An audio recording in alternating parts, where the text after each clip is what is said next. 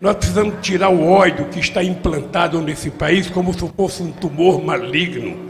A gente tem que extirpá-lo e colocar nesse país alguém para cuidar, não para governar, alguém para cuidar do povo, alguém para cuidar das crianças, alguém para cuidar da educação, alguém para cuidar dos velhinhos, alguém que trata as pessoas com respeito, alguém que enxerga em cada pessoa um ser humano. Não importa a condição social, não importa a sua profissão, o que importa é que ele é ser humano, ele é brasileiro, ele tem direito.